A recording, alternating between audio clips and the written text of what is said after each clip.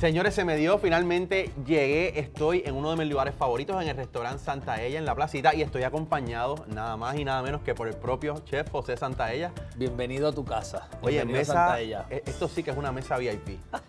¿Qué clase de trip? Gracias por recibirnos aquí este, Esta es tu en esta casa, primera mano. temporada del trip de Maconi. Gracias, gracias, gracias y mucho éxito en tu nuevo, nuevo show. Gracias por ser parte. Oye, y este establecimiento está cumpliendo en estos días 10 años, ¿verdad? Sí, de establecido, mano. que eso es un gran logro. Sí, Pero antes sí. de llegar a esos 10 años, quiero que hablemos de dónde nace Santaella, el concepto de restaurante.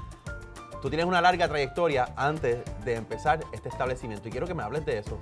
Wow. Siempre he estado en la industria porque eh, eh, por las venas, porque mi papá siempre eh, estuvo en la industria, por eso fue que yo digo, wow, gracias a él pues he querido esta industria muchísimo. Pues desde chiquito mi papá siempre tuvo pues cafeterías, restaurantes, este, caterings y entonces inclusive él fue quien, quien, quien escogió este sitio. Este, y llegamos aquí y después pues yo empecé mi catering service desde aquí mismo. Ahí es donde comienza tu interés por la cocina. Pues yo- ahí, ahí ese, realmente desde chiquito íbamos a restaurantes muchos a comer. Este, mi- como te dije, mi papá tenía siempre negocio. Pues siempre eso como que me, me influyó muchísimo.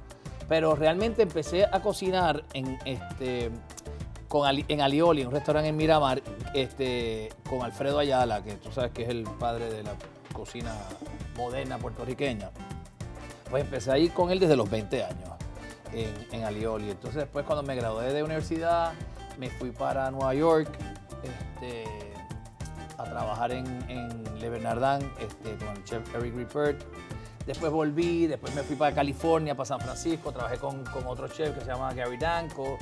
Este, volví para Puerto Rico, seguí mi catering. Después me fui a, a un verano a, a trabajar en el, en el Bulli, en Barcelona, chef este, Ferran Adrià. Y todos esos viajes, ir a esos lugares a, a trabajar y adquirir experiencia, ¿eso era parte de tu plan para algún día abrir Santaella o fue algo que surgió, verdad? Bueno, la vida, como que la vida te va llevando, ¿verdad? Este, tú planeas un poco y la vida también te va llevando por circunstancias diferentes. Este, pero sí, sí, yo siempre he, he tenido como un plan, tú sabes, yo siempre desde chiquito he querido, bueno, yo quiero tener mi restaurante, tú sabes, quiero tener un restaurante eventually.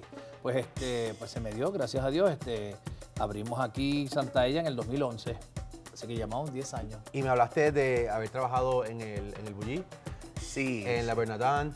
Esos son estilos de cocina bien diferentes, con ingredientes bien diferentes a lo que tradicionalmente es puertorriqueño, aunque también trabajaste con el padre de la cocina puertorriqueña.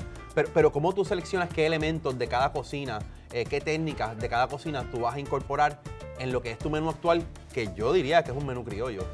Claro, mira, este, es como dice, oye, si te preguntan cuál es tu cocina preferida, ¿verdad? ¿Cuál es, qué es lo- es que tu, comida favorita? Pues yo siempre digo que es la comida que tú te criaste, tú sabes, pues obviamente el arroz de habichuela y el bistec cebollado, o sea, tostones, un, sabes, pues eso, eso no falta aquí en Santa Ella.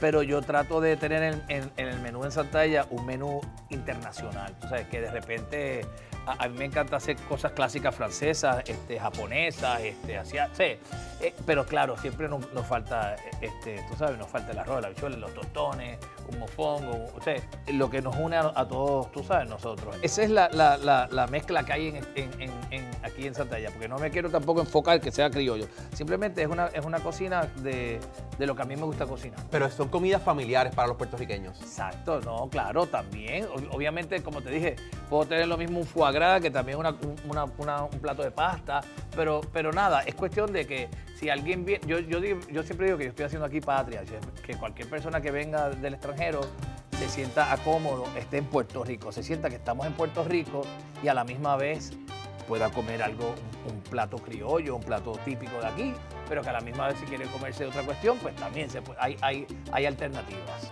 Vienen a Puerto Rico y quieren probar comida puertorriqueña, Claro, pero quizás claro. un poquito más elevadas. Y Claro, por ahí va, va el concepto. Tenemos, o sea, la experiencia de Santalla, como tú dijiste, es, es- es mucho más que la comida, es todo, es todo el ambiente, es la iluminación, este, la mixología, tenemos, nosotros hemos sido precursores de la, de, de la mixología aquí en Puerto Rico, que le dan como otra, otro acento a la experiencia aquí, tú sabes, o sea, que puedes mezclar un, un un buen trago, un buen cóctel con un buen plato y nada, la- pasas una noche fantástica. Con gente buena. Exactamente. Está el nivel, está el interés. En general, ¿dónde se encuentra en este momento las artes culinarias en Puerto Rico?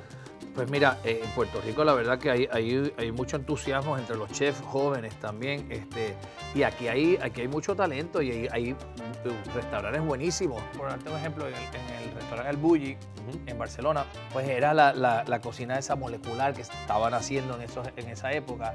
Y, y para mí fue un, un honor, ¿verdad? Este, estar allí. Eh, presenciando esa, esa, esa, esa, historia que se estaba haciendo en ese momento. Y, pero yo, ah, que si me dicen, ah, pero tú vas, vas a hacer espuma y vas a hacer este, cosas surrealistas, pues mira, no, voy, quiero ese conocimiento, lo veo y lo, lo aprecio genial, pero yo no voy a, a, repetir eso, ¿no? Yo quiero hacer eso, uso algunas técnicas de esas y las la adapto a mi estilo de cocina, ¿entiendes? Eh, y por ejemplo, igual que en, el, en, el, en, por ejemplo, en la Bernardin, pues es todo de pescado francés. y ese estilo tuyo propio está plasmado en este libro que ah, publicó hace unos 6, 7 años ya. Sí, en el 2014 hicimos este eh, eh, con Risoli, este, hicimos Cocina Tropical, que fue un libro la verdad que bien chulo. Oye, la, que interrumpa. Si, lo ven por ahí el libro, agárrenlo rápido porque se acaba, se acaba la milla, se vende rápido, no se consigue. Sí, está en la, está en la eh, hasta creo que está en la quinta edición, o sea, se ha vendido, hemos estado eh, de verdad súper feliz por eso, porque se, vende muchísimo y se vende en el restaurante. Ahora mismo no hay ninguno, pero llegaron ya, o sea que ya mismo están. Bien de camino. Sí, exacto. ¿Cuál es la clave de, este éxito? ¿Qué le debo decir a un chef que, está, que es joven? Se lee, viaja, come por todos lados, disfruta y, y, y tú sabes, aprende, aprende. Además de chef, ¿te consideras artista? Pero en las artes culinarias no, no, te ves así.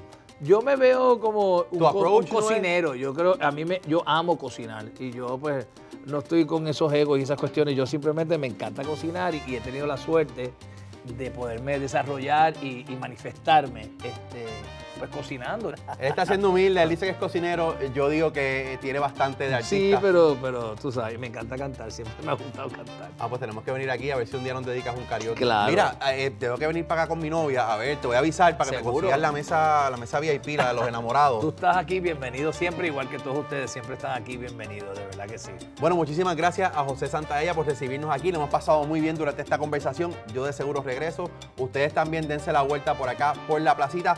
Tenemos que seguir con el programa, José. Dale, dale. vamos a seguir con el programa. Yo me quedo aquí hablando. Gracias por invitarme.